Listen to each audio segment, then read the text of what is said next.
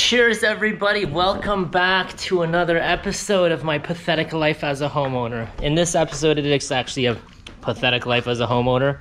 I'm going to be talking about solar powered LED lights. Now, I've bought many, many different brands over the years. Um, I just actually replaced these ones, which were uh, on my posts for this bed right here, with another set of solar powered LED lights. I mean, they somewhat have their purpose, but I'm gonna give you my opinion of about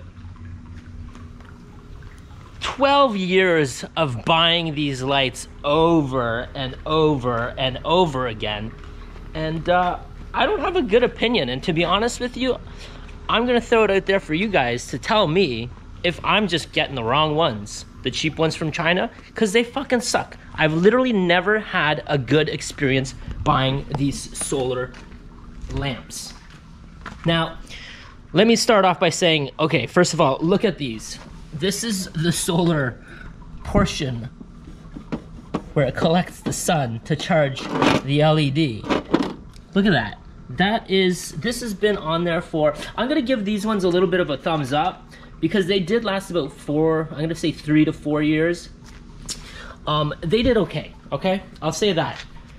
This brand right here, InnoGear, I bought a total of eight of these things and they literally lasted a year and a few months at best.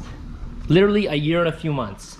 Like going from putting them outside, mind you, I'm in Florida, so I get beat down by the sun, so maybe might have something to do with it. But I bought eight of these things and they just fucking sucked. Like literally within a year and a little bit, they were all dead.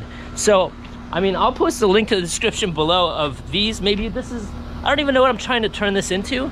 Maybe it's a review of InnoGear. Um, but I'll, I'll show you when I bought these and they're all dead within like roughly a year and a half. So long story short, this is just a rant video. Solar powered LED lights for your garden, they all suck. So if you're gonna be buying solar powered LED lights, just make a mental note, they suck. If you found some good ones on the internet, by all means post it down in the in the in the comments below because I'm pretty sure I'm not the only one that's going through this bullshit. Now, I do have a lot of lights around my house. Um, like, for example, right here, like they're LED. These are LEDs. I have nothing against LEDs. I just have a, a ton of bullshit against the solar paneled ones, and they all suck. Again, LED, LED. I mean, I've probably got 50 lights around my house. Mind you, now those ones are wired. So 12 volt wired, for example, you can see the wire run around the garden right now.